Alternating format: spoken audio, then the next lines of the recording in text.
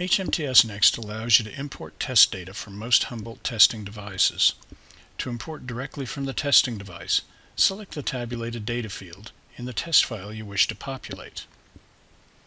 Then select the Edit tab in the upper left-hand corner of your screen, and then select Edit Selected Tab Data button, followed by the Import Data button, and select Attached Logger.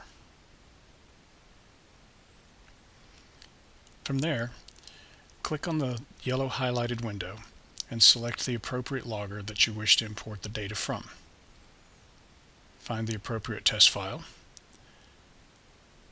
and double-click on the file. On the right-hand side of the window, the test data will appear. Once it's there, select Import and select Yes at the prompt. And now the test data has been successfully retrieved from the logger and stored in the test file.